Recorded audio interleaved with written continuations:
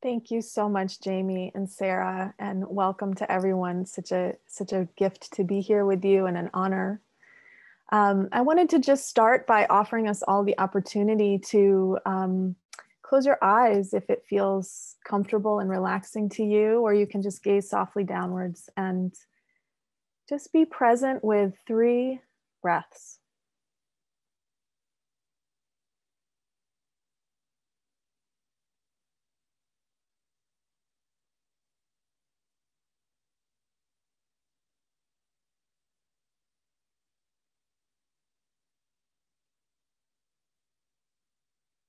And I want to offer my gratitude to my teachers and to the lineages that I've been so lucky to learn from that come from many cultures around the world, much from India and from across Asia, some from indigenous cultures. And these teachings have really helped me to tap into my inner wisdom, my my internal guidance system, and I hope that they will be the same for you, that they will be a spark that brings you to your internal wisdom as well. So just contacting any gratitude that you would like to contact inside yourself right now.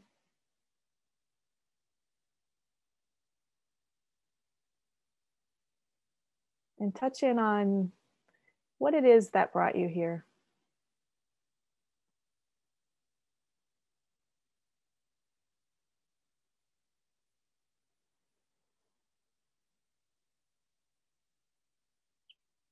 And when you're ready, you can slowly open your eyes, come on back. And we'll be doing this on and off throughout the practice today. So, just to give you an orientation, first of all, I want to encourage everyone to make yourselves physically comfortable as much as is possible. And I invite you to choose a posture that helps you to be upright, but really supports you in balancing relaxation and alertness. And I'm going to talk a little bit first on our topic, which is finding ground within unpredictability. Um, and I'm going to offer three simple tools that can help us do that.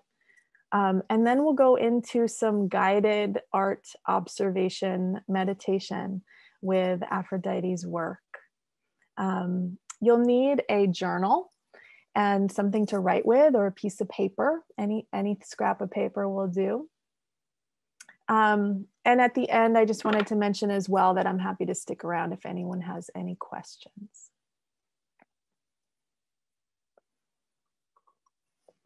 So our topic, again, is finding ground within unpredictability. And I really have found for myself, and I'm sure it's true for perhaps all of us, that um, we've learned a thing or two about unpredictability this past year of the pandemic. So I wanted to start with a, a, sort of a light experience of that in our bodies today, just remembering that feeling that I think we all know of groundlessness. Um, and then we'll move into a, an experience that supports feeling grounded um, and relaxed. And after that, we'll deepen into the mindful observation, which will extend that relaxation for all of us. And um, really taking up Aphrodite on the offering that she has pre- presented to us that this work is something that can be used to cope and recreate. So I want you to just think of, to begin with, a recent time when either you had a plan that didn't work out, or for some reason it was hard to make a plan and just jot that down. So don't go for anything too hard nothing traumatic nothing nothing too hard just a bearable instance of uncertainty that you have recently experienced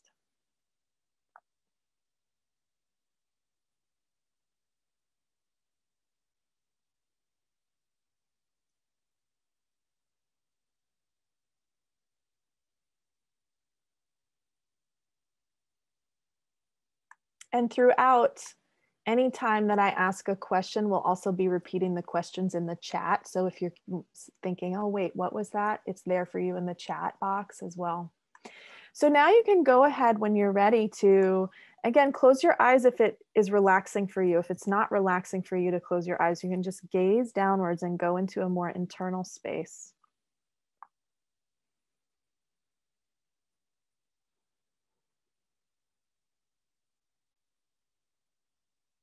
And notice your connection to the ground right now. Feel how your body is connected to the ground, either through your feet, through your seat. And notice that your breath is here with you constantly coming in and out. And now think of that time that you jotted down when you were unable to come up with a plan or your plan didn't work out. And just notice what you feel in your body.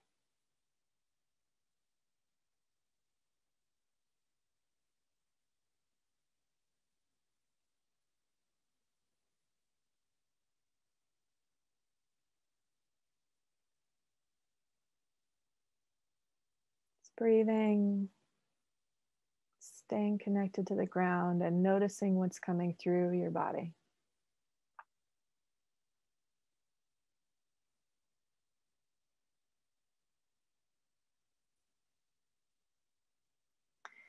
And then when you're ready, if you have a, a few words to describe what that was like you can open your eyes, come back, and if you feel like it, you can drop those words into the chat. Just, just a couple words describing what that was like for you. Yeah. Tears, relaxation, anxious, tight, unsettled, disappointed, worried, longing, annoyed, trying not to be tense. Wonderful. Yeah.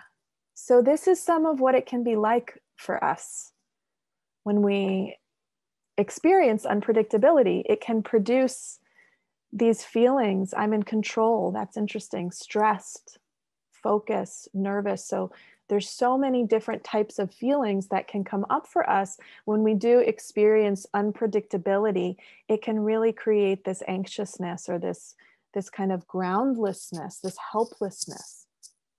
It's unpleasant so this particular moment in history i think has amplified what was already the human condition for for all of us which is that we cannot ever know what is coming. And that is uncomfortable. The unknown is, is inherently um, uncomfortable and anxiety producing for all of us. So, the question um, that we're here to contemplate together is what do we do? How can we how can we teach ourselves to relax with that and to find the ground again when we remember that there isn't ever any certainty um, other than change, of course. So I want to suggest that it actually may be somewhat simpler than we often think to, to be able to find the ground and to be present within unpredictability and uncertainty. And I'd like to introduce um, three simple tools that have been a bit of an antidote for, for me in these times. And um, I hope they can help. So these are three things that are always accessible. You don't need anything to be able to do them. Um, and they can help us to relax a bit. So the first one we already just did together, which is focus on connecting to the ground. So, the ground itself, just take a moment here and now. You can close your eyes again if that supports you to feel your connection to the ground.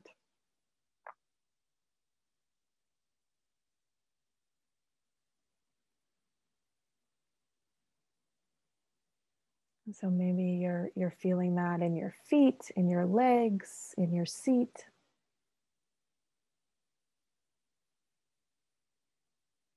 Just bringing your attention to that connection, to that contact.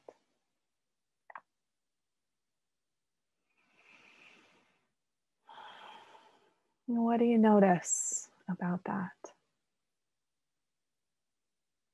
If you'd like, you can jot down what you're noticing. You can certainly drop it in the chat, or you can just feel it for yourself. Just keep your attention there on what you notice when you connect yourself to the ground. So, that contact is actually always there for us, right? Gravity is always there for us, keeping us connected to the ground. And in fact, the weight of our bodies is creating this deep pressure in our joints as we press against the ground. And that naturally is regulating to the nervous system when we bring our consciousness to it, when we bring our awareness to it. So, anytime we can choose to cons- consciously bring the, the light of our awareness back to that experience of being grounded and it actually helps us to feel grounded.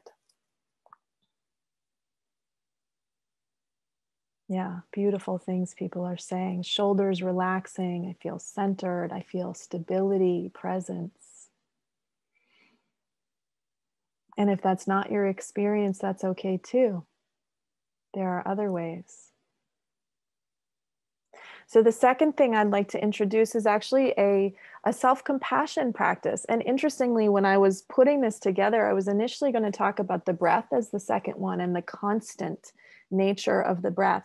And then I realized, you know, that is true. It is totally centering and grounding to focus on the breath. And sometimes it can be the opposite um, to focus on the breath.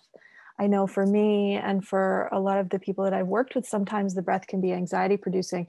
So I want to talk actually about self compassion as an antidote for unpredictability. So if you're like me at all, you might be thinking, I don't I don't have time for self-compassion. I have real problems that I have to sort out and take care of. um, or you know fix in myself or you know maybe self-compassion is never really going to work for me or that sounds hard i just don't even really know how to do self-compassion how, where would i begin um, or i don't deserve it. There's all these things that come up around self-compassion. I know for me for a long time it really was like that. I didn't think it was something i could prioritize and i didn't see why. Um, and then I started bit by bit listening to a lot of, there's so many amazing teachings available now on self compassion. In particular, the teachings of Dr. Kristin Neff, who is a psychologist and researcher um, who is considered the foremost expert on self compassion.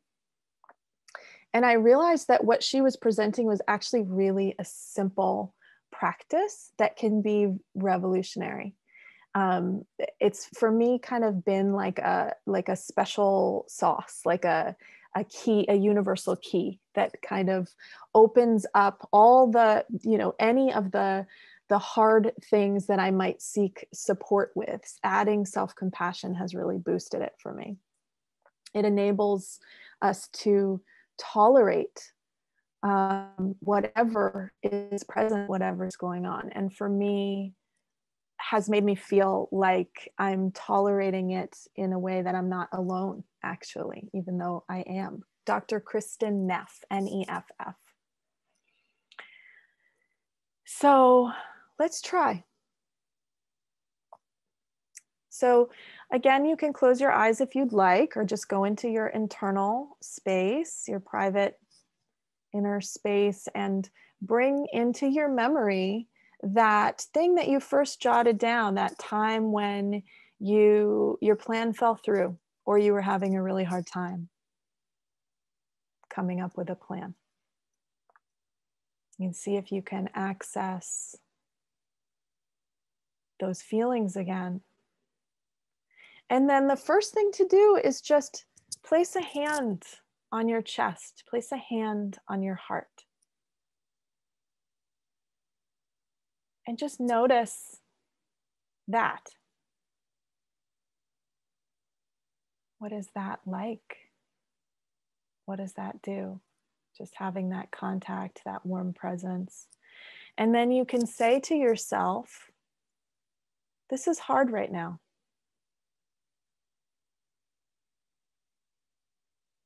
This is hard right now. This experience is hard right now. And notice what that happens, what happens when you direct that compassionate voice towards the hard feelings inside yourself.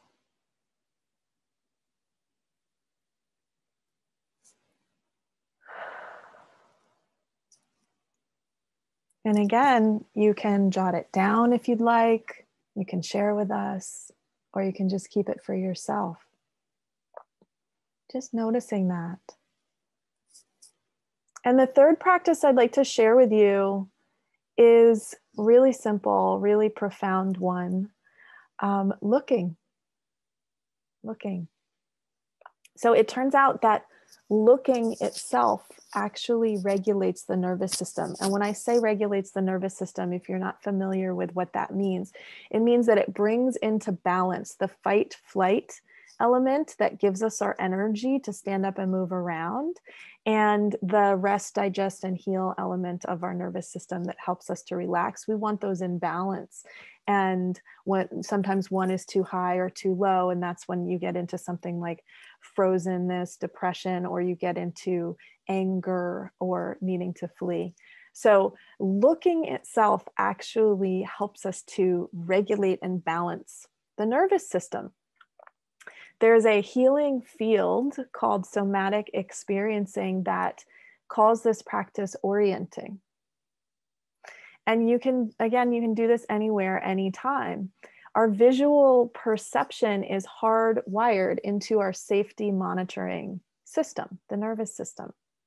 So, this simple act of focused looking actually produces physiological impact. It slows the respiration and heart rates. It balances the nervous system and it secures us in our sense of safety in the here and now. And I find that consciously focusing my eyes is sometimes what it requires.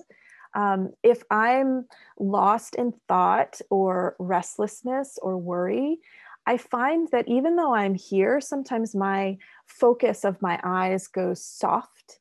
I'm just not really looking at what's what's here and now in front of me. And if I do that, then I don't feel really present. But if I bring, if I remember and I bring myself back, as soon as I realize I can consciously focus my eyes and um, it brings me into feeling present and grounded. So, again, let's try this.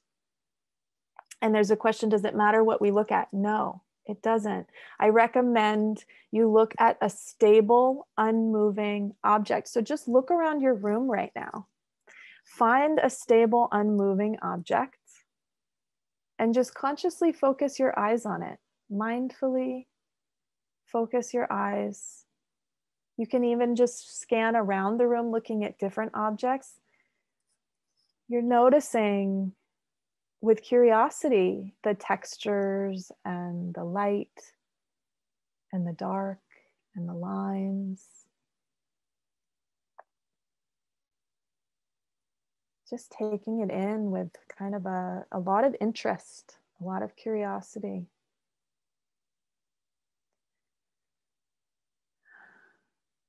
And notice how you feel while you're doing this.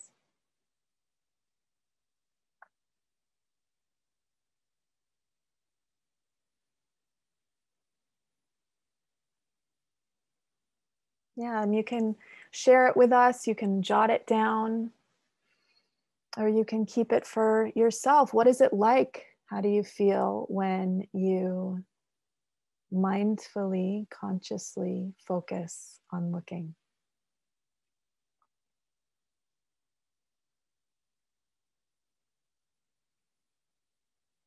Calm, steady, beautiful.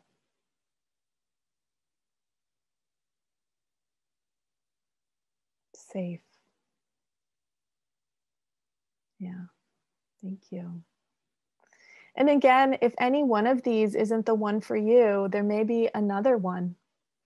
Um, so we can always keep trying, keep looking. There are, these are just a few, so many different ways to feel grounded. And um, your internal wisdom can guide you there anytime you ask yourself as well what, what would help me to feel grounded right now?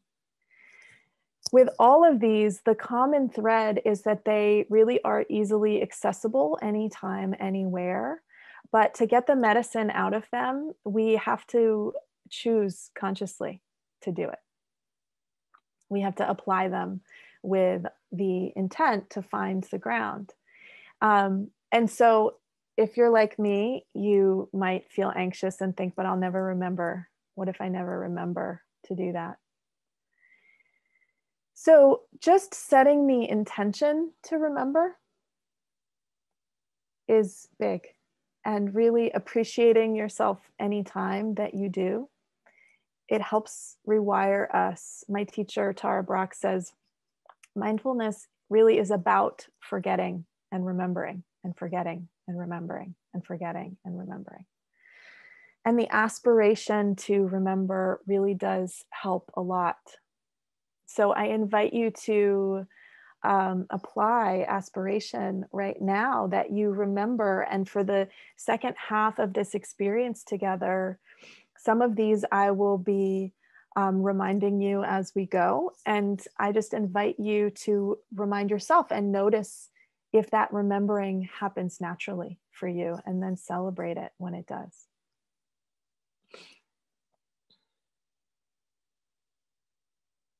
So let's take this looking experience to the art realm and use some of these amazing ink paintings that Aphrodite Navab uh, created and provided by the Addison. So we're going to look at three, starting with this one. Thank you, Jamie.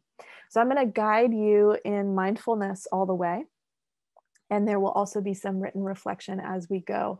Um, the invitation is also there. If you don't enjoy written reflection, you can just replace that. You can replace it with drawing, you can replace it with movement, sound. Obviously, keep yourself muted, but if you want to be in your own space making funny sounds, go for it, or beautiful sounds. Um, and you can just do internal contemplation as well. So, no pressure to do written, uh, whatever way of processing you prefer.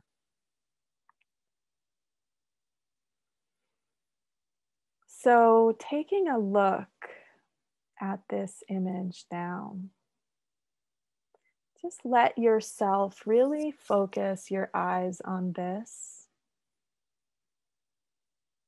Let your eyes move all around.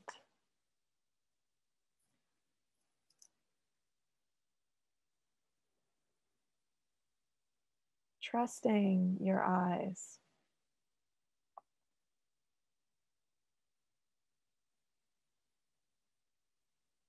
allowing your eyes to linger wherever they want to for as long as they want to. And move on whenever they feel like moving on, whenever something catches your attention, your curiosity.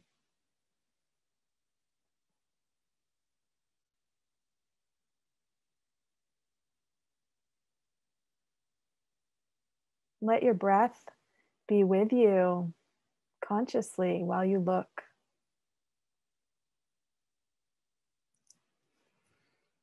Notice your body touching the ground while you look.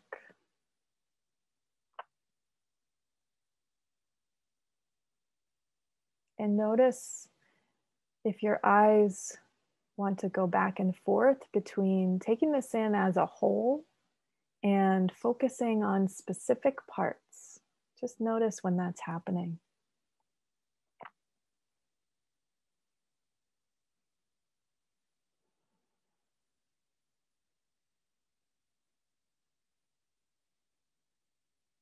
And now close your eyes or gaze downwards. So taking your attention away from the image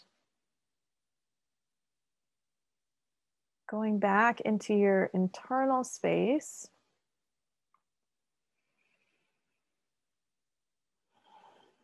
Relaxing into the breath, into the body.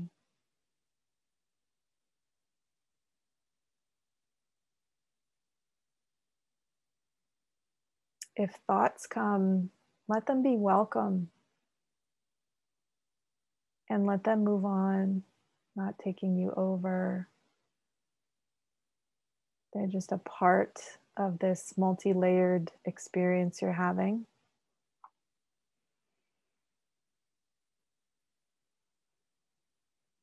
If emotion is here, certain energy is here, attempting just to observe it. Let it be welcome, let it be a part of everything that you're experiencing.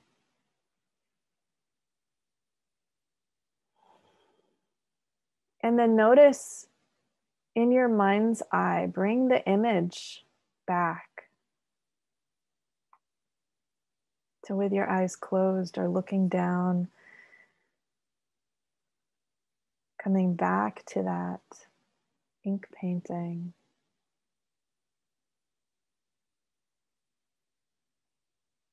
soft breath. What do you notice about the image?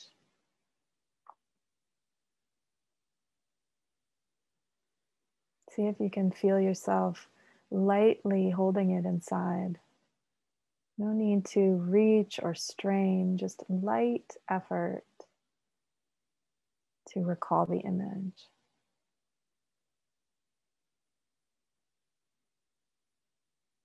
And whatever remains is here for you.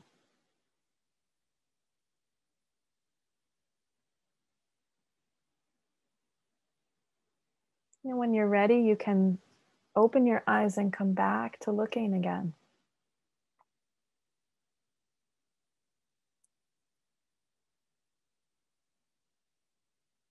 And what do you notice now? Just relaxing the body as you look.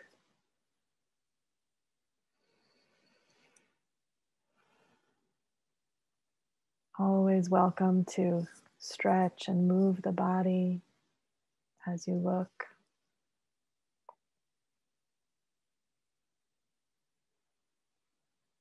Again, not straining, not straining to stay, just offering to stay for a few moments.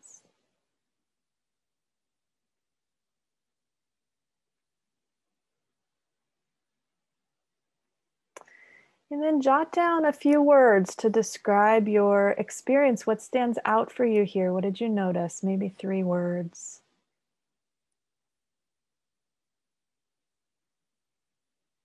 Welcome to share them in the chat or keep them for yourself. Mm.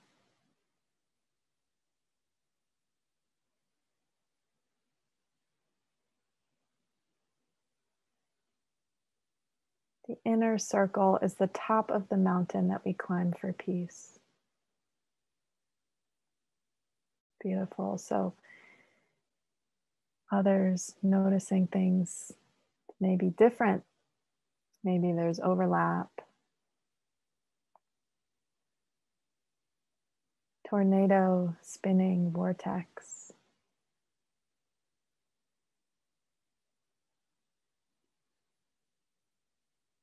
Lovely.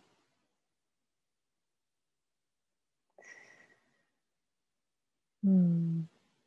Contrast, light and dark, hope and despair, cycle of life, whirlpool, flower, my home is myself holding, hugging, happy, navel, wound, labyrinth, nest of comfort, birth canal. Stay in the light. Beautiful poem we're writing.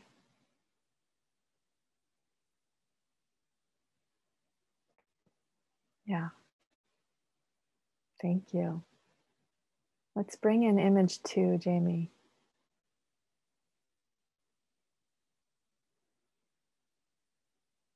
A new one. So, again, just noticing what's here, trusting your eyes, and exploring. Exploring. Trusting that you know how to look, you know how to learn what's here and what's important for you.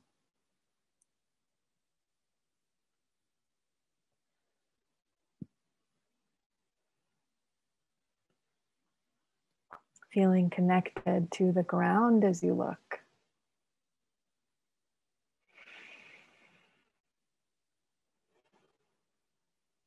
And to breath.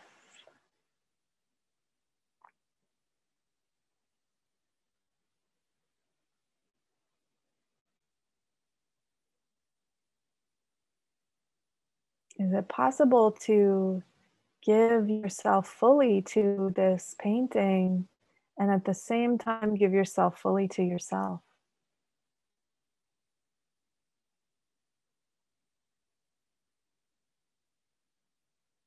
Really noticing what's here inside what you see and inside yourself, balancing the internal and the external. You can close your eyes.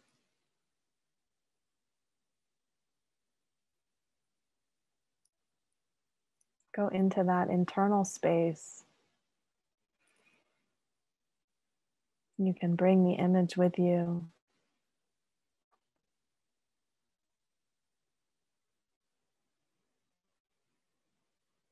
And open your eyes again.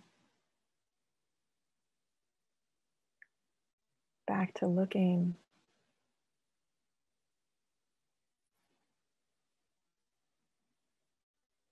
Close the eyes.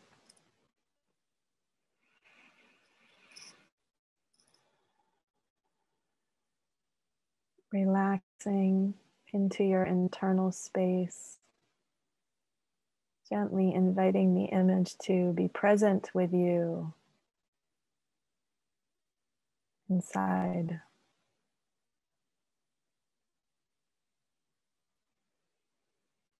And I'm going to ask a question while you're here with yourself internally. How are you feeling at this time in your life? How are you feeling at this time in your life?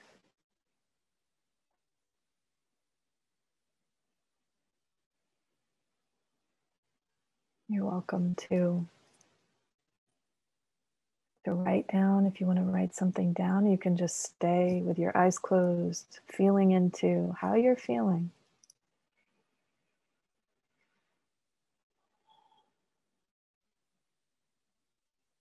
Might be words, it might not be words.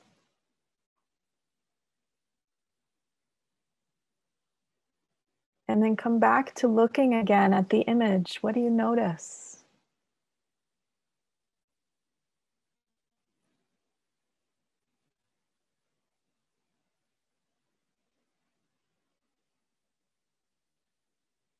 Just focusing the eyes on looking, just kind of a languid, loving looking.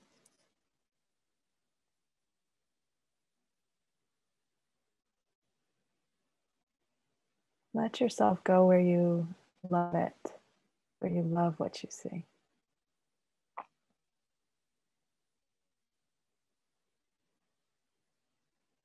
And then come inwards again with your eyes closed. Softening, softening the breath and the body. Here with yourself as much as you can. If it's hard to be with yourself, that's what's here too. Be with that. That's okay.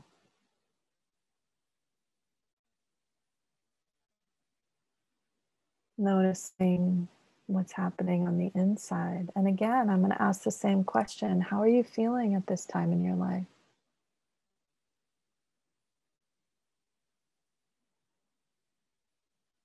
What's the next layer?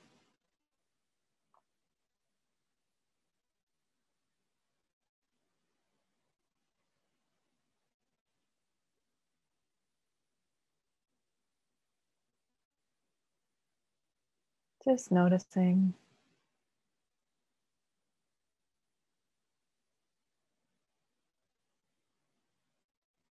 And come back looking again when you're ready.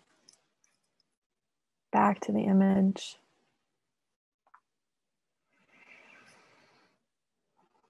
Notice what's here. What's here for you?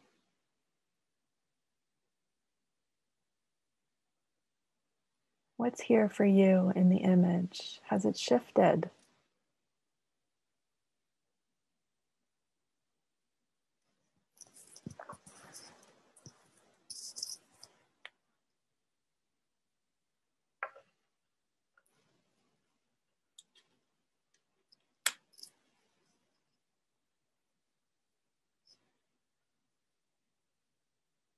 And one last time, we'll close our eyes again.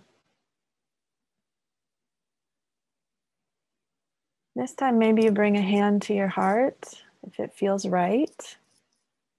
No worries if that doesn't feel authentic for you. Could make contact with yourself in another way.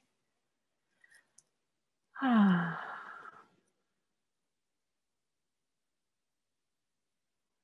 How are you feeling at this time in your life?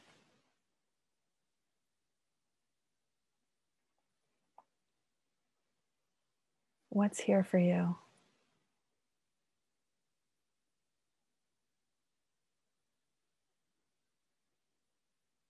Just let it come to you. No straining, no effort.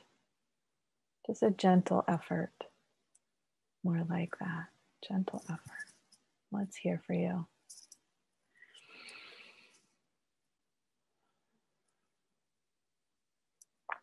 And you can come on back to looking again at this image.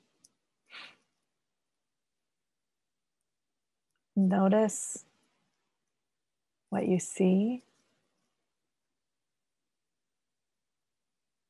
Notice how this has evolved for you over the time of looking.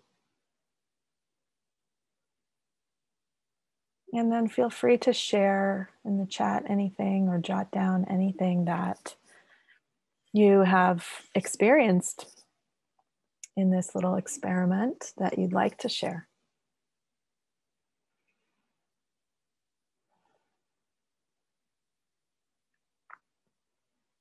And we'll go on to the third image as well.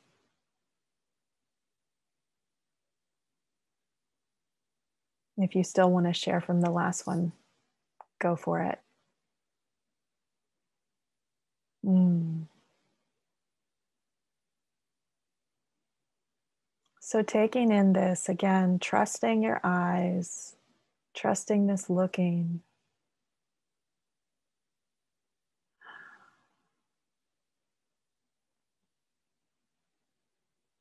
See if any of those tools, those grounding tools, are present for you.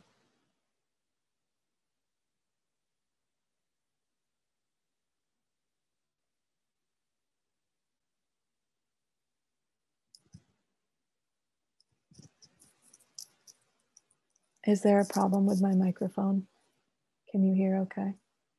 Okay, great. Someone said the microphone, so I just wasn't sure. Maybe that's something you're seeing in there. Um, so as we look, okay, great. I'm glad you're hearing me okay.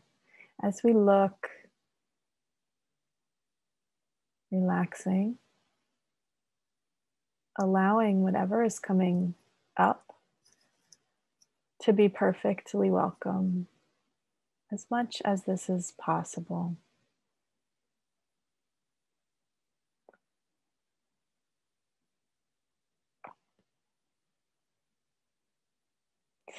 And then come back into your internal connection again. So we're really balancing here the internal with the external. This is a practice as well that can be helpful.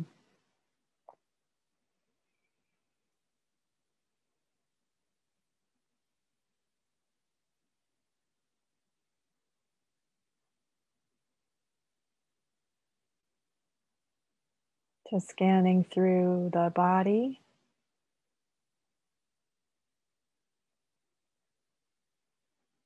Noticing the quality of the breath.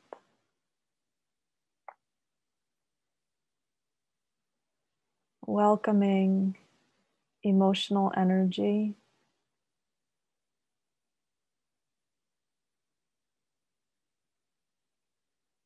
Being open to thoughts that come and go.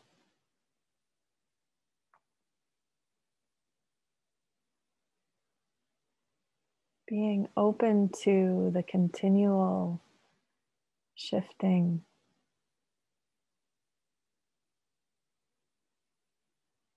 endlessly shifting nature of experience.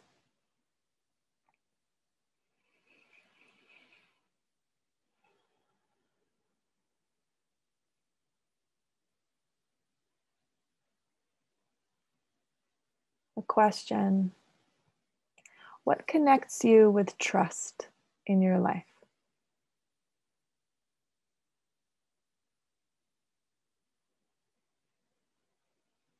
What connects you with trust in your life?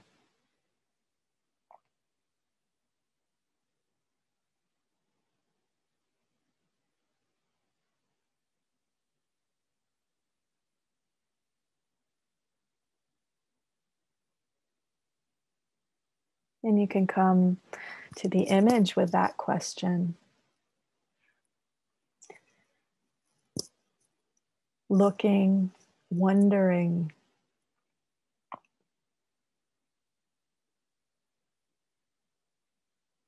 Again, not straining to know something that might be unknowable, but just coming with a gentle question, holding it like in an open palm rather than a closed fist.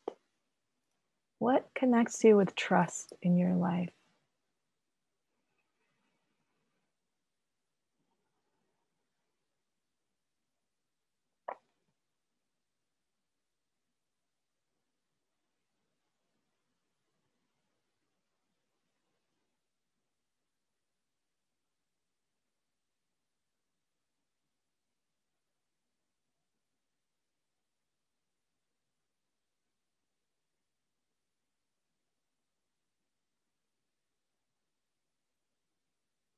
And is there a connection in what you see here and what you feel inside and know inside? Is there a way that what you see reflects your knowing, your internal guidance system?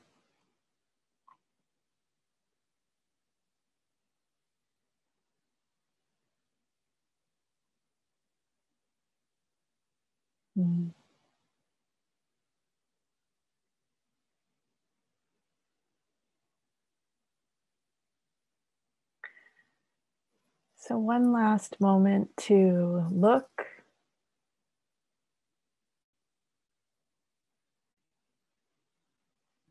To go into your internal looking as well.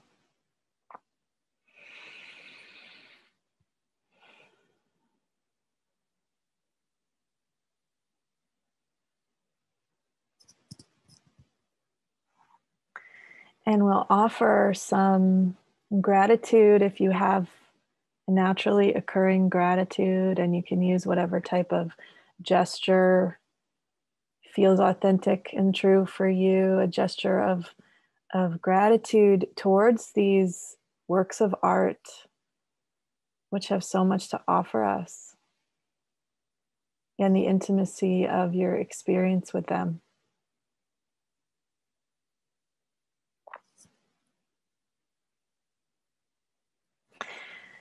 And I'd like to offer a few moments of opportunity um, before we open the floor to Aphrodite to share with us about some of what these have meant for her or why you made these, maybe what they meant for you. Um, to offer the floor to any of you who are here. If anyone would like to raise your hand, we'll have space for a few people to say something if you'd like to speak. Um, you're also welcome to jot down into the chat. Um, and of course, there's no pressure ever to share. This is very personal of course. You you've you're you've been through an experience where you're in your inner world and you're reflecting on your life. So of course you may not want to share that which is absolutely um, fine. And if you do feel called to say something and be heard um, in this space you you are welcome so anyone and i'm not sure will i see if you raise your hand, go ahead. If anyone would like to share something that they experienced here, any reflections.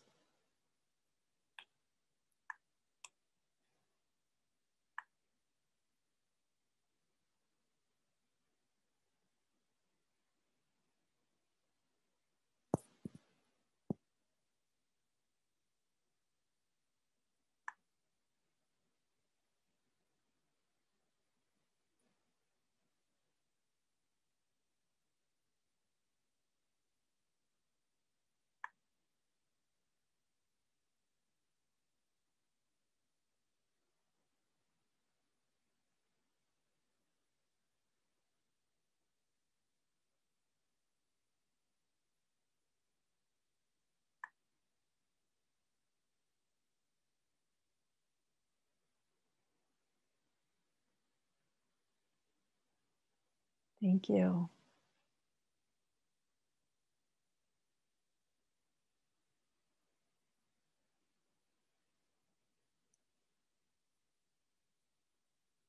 I've experienced that I must take time for myself in order to recenter so that I may be the best version of myself. Yeah, me too.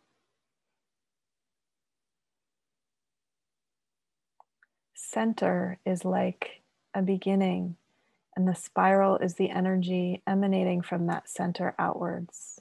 It's not a smooth path, but ongoing.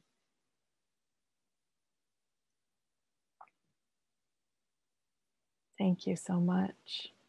I always find that there's incredible poetry in the words that people find after experiences of mindful looking. It's just so moving to me.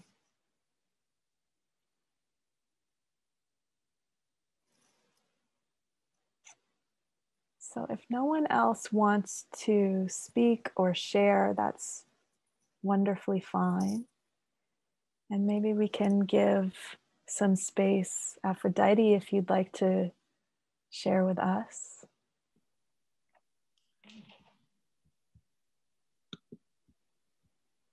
Um, first of all, I'm very, very honored and grateful that this is happening and you're here and you're attending to these works that started off very concrete and deeply personal and visceral and sensory based and family. So I, I took it from the soul and I, I abstracted it. So this is now I am looking like a visitor and a stranger at my works, um, which keep on making meaning and they they're growing. They're becoming different works now that they're touching uh, more people. And i'm seeing words and reactions and this is very moving to me. Um, it is a monument to my brother alexander navab who passed away uh, of sudden cardiac death two years ago only 53 years old. And he wasn't just a brother, he was my best friend. And I think he taught me what unconditional love was before I could say it in any language. At that time, my first language was Farsi. So before I could say Esh, he showed me what Esh was. And this kind of showing, I think, I feel it's in my work because I take the, the concrete and the visceral and I turned it into from the personal to something that could be universal because I abstracted it. It's not a day in the life of me and my love for my brother, but it is a testament to it now. It's a monument and it's something it's something universal enough and open enough that people can come and access it from whatever avenue and road and time and life and so it's to me it the, it could be anything it starts with this idea of the landmine um, which can be explosive and carry histories of war and pain and suffering. But at the same time um, the the message of the work as a whole is about healing communally and starting from the personal and reaching out. And this whole thing about memory and um, inciting consciousness and present being present and being here uh, is very much what this physical work asked asked of me in the first place as I was doing the artist in residency at um, uh, at Andover and Addison Gallery of American Art, it basically became a whole experiment and experience of what you're doing right now. I did it solitary. It was my own mindfulness meditation. It was also my own ritual uh, with ink, with brush, with water, with paper, erasing, rewriting, um, making. And for me, the drawing act it could be different things for different people, but drawing for me has become a sort of thread through this labyrinth that allows me to engage and and and engage and, and deal with and mine um, my demons and my heroes and my history and my past but it also is that thread, like in the labyrinth, that allows me to escape or reemerge from the uh, submersion. So for me, it's it. Yes, it's about loss, but it's also about healing. It's about incredible pain, but it's also about incredible joy at being given the opportunity to share. It's also about loving tenderly someone very specific, but turning it into something metaphorical and poetic and bringing in Greek and Persian um, mythology and folklore as, for me, like the thread of memory is your way out of the line, landmines to step gingerly around them and not lose lose yourself. So, in a sense, it is. I did lose myself in the making of the work, uh, only to come out again a little bit, a little bit stronger, a little bit a little bit, how do I say, able to face a present and then a future with that same string. And for me, that string was um, drawing, ink drawing, which is so fluid. So I loved reading what people were saying about these these labors of love of mine. They're like because I, I, I was looking at them like a parent looks at a kid. I look at my daughter and son this way, both Shazad and Bijan, when I look at my 25 year old daughter or my 15 year old son, I'm like, they are independent. They came from me, they came through me, and a lot of love.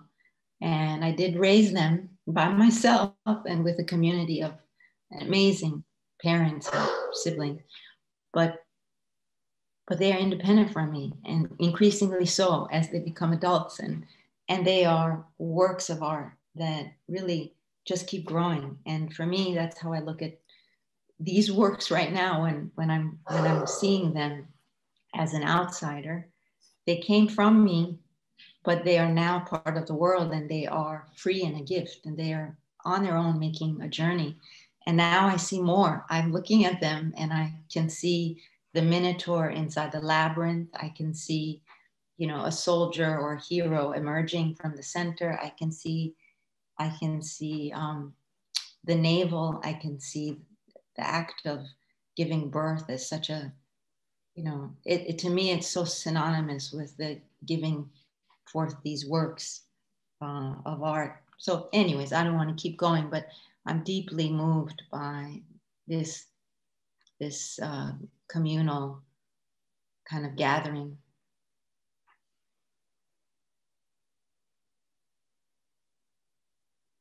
Thank you so much. I don't know if you might have seen there was a question if you could talk about the birds and what they mean for you. Oh, so I haven't looked at the the last few texts, but so in um, in Persian folklore, I, I use two two very important stories in my life. So the labyrinth, the ancient Greek labyrinth uh, myth of the Minotaur in the center, and the um, the, the Theseus finding his way out with Ariadne's string, and not only destroying the monster that was eating people, but also finding his way out. And there was a, it's a very complex myth, and there's betrayal, and who's the hero really? I mean, for me, I think Ariadne had a lot to do with um, being the storyteller and the hero. So there's another story going on through these works, and it's the uh, Sanghe Sabur uh, folklore, which is the patient stone, which is the, the Iranian um, version of the diary or the personal, extremely private uh, confessional. And instead, it's not written or recorded, that which can be kind of kind of used against you. Um, it's it's speaking to a stone, a stone that doesn't talk back, but a stone that takes. It's a mythical stone that really uh, absorbs all the confessions and the suffering and the pains and but in a um, sort of I, for me, uh, very, very frightening, um, you know, dystopian way, uh, explodes and creates death and destruction everywhere. So the stone can only hold that much. So when I was thinking of very personal things inspired by walking through the high school campus of my brother and losing him and then then meeting new people there and life and and coming across the bird sanctuary there and 11 stones that were in a circle like to me a very very primal kind of um, uh, monument. All of these collided into the idea of well what if the stone uh, metamorphs and transforms into something that can kind of fly away and bring new life and carry the past with it, but into, um, you know, into healing and reinvention and rebirth. And I, I really, really just, it, the process of making and doing and being present with the work and with the ideas and with the materials made me think of really for I, I haven't I have never thought of it before, but bringing the labyrinth and the patient stone together and what happens? Well a bird can fly and emerge from all of that. And you know through all of this um, uh, mixing and whirlpool of stories ideas thoughts feelings histories uh, myths uh, what emerges to me is hope. And in Greek, hope is elpida, and what I've read in, um, and in Persian, it's omid. And when I was thinking of just the poems that, that mean a lot to me, um, what is hope? You know, hope is feathered to me, hope flies, hope lifts you. Um, and I think that is why this bird was born. It was like a mixture of all of these intersections. I never came with a plan um, to have the burn the bird emerge as uh, to me the hero. I think that I, the more I think about it, uh, she's the hero. It could be Ariadne. It could be the little sister who who is devoted and devoted memory and loving memory and you know, may his memory be eternal, is what we say in Greek all the time. May his memory be eternal, eternal. And I'm like, well, you know, that bird is eternal. That bird is escaping the confines of whatever traps you in a landmine. And, and instead of exploding, I'm thinking of reinvention and rebirth and, and flight away from, you know, the, what's dragging you down, basically what either is going to destroy you or can uh, recreate you. And that's basically, there was no linear way uh, for that. That happened through this descent into making and being and, and, and processing. processing very real grief, but also um, really being present with the materials and the fact that I was in solitude doing my my artist residency. But then from that solitude of the of my personal um, space, I was always engaging with uh, the community and meeting students both at public high school and at Andover. And that that was this kind of you know private public engagement and solitary and communal that is basically the source of how landmines of memory now is is there for the campus and for the public and now virtually for the internet which to me is it's it's really the treasure. That that is like the thread of drawing. That line line to me line can save you um, literally metaphorically and, and artistically. It's now that little line of that first drawing um, is now the line connecting all of us here and in mm-hmm. a very virtual setting, you know. So he did start with that little intention and that little mark on the paper.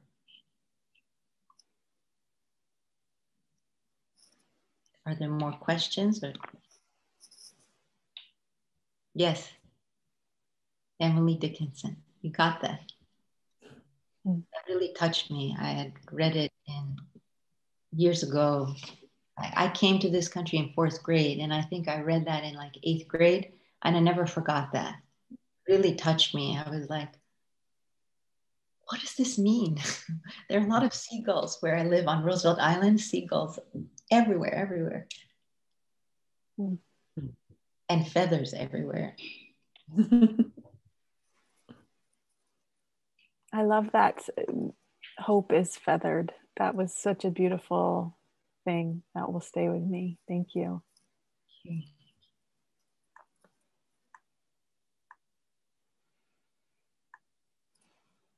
I think it's your, sorry, Allison uh, Kemmerer, she, she wrote something really beautiful, but I was like, wow, I, I wouldn't say it this way. It's like hope is untethered, you know, that it mm. basically uh, the works fly.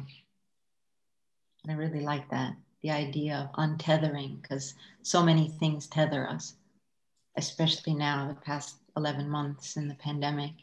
So many things are weighing us down and trapping us and isolating us either through voluntary quarantine or forced or just just the very nature of what we've been going through this year.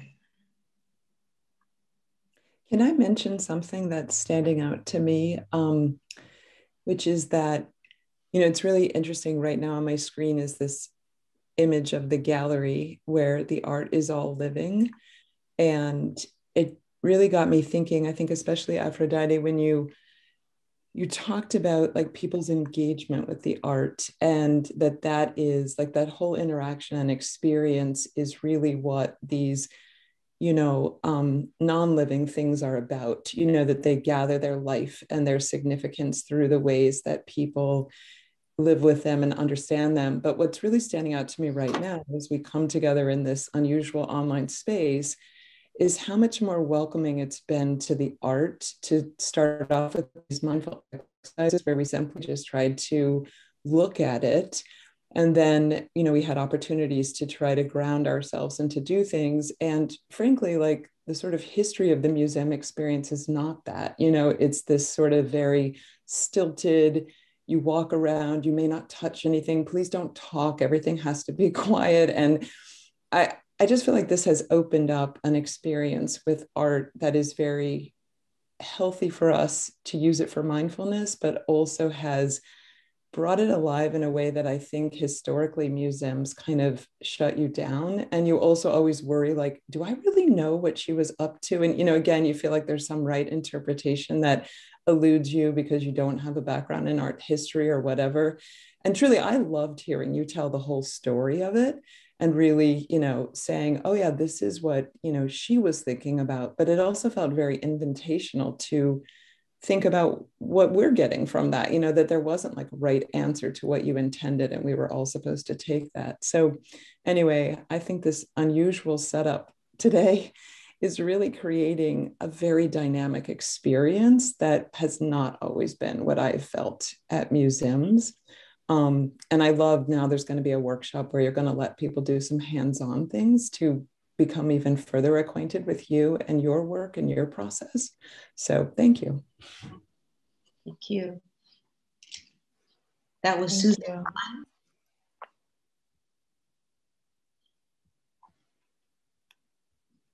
Susan, that was Susan speaking, is that right? Um, yes, that was, yes. Yeah. Mm-hmm. So many participants. I was scrolling through trying to see who to look at um, because I'm so visual. I'm like, who, who is speaking? I hear the voice very clearly. So I, I appreciate that, Susan, so much. You know, I, at first, um, I, I had no idea this was going to happen. so for me, this is a beautiful, it's one of those beautiful surprises. Um, and I'm deeply touched because, you know, I, I made this to give this to the world. And you never know what's, you don't do it because it's going to be received either way, well or not. Is it going to be accepted or rejected? You do it because you have to do it. For me, it's my, my way of, of living and breathing someone the other day said, art for you is like air. And it's true. I was thinking, some people write, some people walk, some people do this, do that. I, I, I make art to live. And it is also, it's my living, my chosen profession, but it's, it's how I want to live. It's a way of being in the world. It's a way of asking questions. And there's so many ways you can ask questions of the world and, and process your history and the world itself. Um, so I, I can't live without making.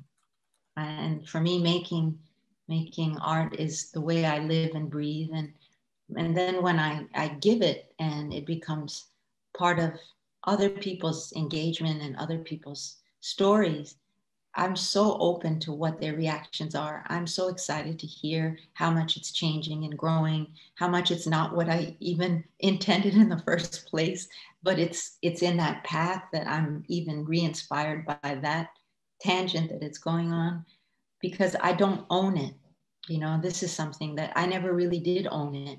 I feel like I've become open to a much larger um, way of being in the world and it's older than me and it's going to continue after me and and and and honestly this is going to be part of the permanent collection or already is of the addison so when this goes down it's going to be it's going to be collected and stored and and preserved but then it's going to be brought out again. It's going to be accessible a generation from now um, maybe my grandchildren I'm hoping, I'm hoping that it will keep making new meaning and cross generations and time and maybe inspire a whole new, um, a, a whole new world and a whole new set of circumstances. We're going through the worst pandemic in our history right now. And I think nothing is an accident that, that the work is being shown right now. And it's next to Yoko Ono's installation, which is a, a privilege and an honor to be next to her and also how she has been living after her own trauma and grief and and thinking about her installation and mine together as you know coming from a source of very private grief and personal and then becoming something much more abstract and communal and allowing allowing viewers to walk through touch move um, and do their own sort of um, for me it would have been more labyrinth but because of covid uh, restrictions this is the meandering is the best way we can do meandering through the works that stand in in three-dimensional space. I, I wanted that and i'm very grateful to the museum for making this possible. I really wanted people to walk through and if they can visit the space. It's one of few museums really steadily open throughout this time. And I think it's just, it's so important to go. It's not 2D, it's really 3D, and it really is alive. walk through the space, you'll see more. You'll connect more. It'll be standing with you. Um, and I see them as testimonials. They're standing there. I even noticed it looked like a grieving procession and a lamentation. Um, but at the same time, no, it's also a memorial, a monument, and it's, it's about giving life and new meaning and and flying. I really love these birds, and I haven't seen birds like these anywhere. Some there, there was a professor of um, uh, Iranian uh, contemporary art who was like, "Wow, I've never seen the labyrinth brought together with the patient stone, the Senghi Sabur." So people have talked about both extensively and each alone, but you know, it does take a, a, a mutt and a hybrid and a Greek Iranian who's mining her histories and heritages to bring it, you know, bring them together so that they're, they're they're they're speaking to each other right now. They've transformed the labyrinth and the stone of patience to me are are stones and structures that I ended up wanting um, to fly rather than, you know, get destroyed or destruct. So con- construction is an important theme for me too, and and yeah. Aphrodite, thank you so much for just all your sharing with us and for how much you have, um, you know, shared this artwork as platform with us, that it's yours and ours to experience and to enrich each of our lives. And thank you to everyone for um, for really bringing this into yourself. Um, this has been such a, a beautiful experience for me. I've learned so much from this looking, and I hope that this has um, opened and brought some breath into your Sunday. And I'd love to invite anyone who's still here on the call to just end with a little sort of as we began reconnecting with yourself one last time with your breath and your body and looking for an authentic gesture of, of closure, whatever feels real for you. Thank you for giving yourself this time. Thank you for being here. Such a gift